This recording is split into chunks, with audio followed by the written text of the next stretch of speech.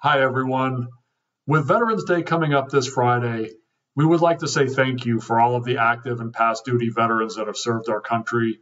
It's your service and sacrifice that allows us to live the freedoms that we have today.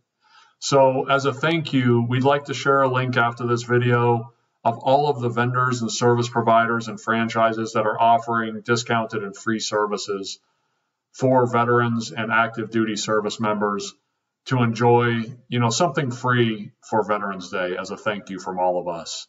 Very much appreciate it. Hope you and your family have a wonderful, happy, and safe Veterans Day weekend. KPM Mortgage Team.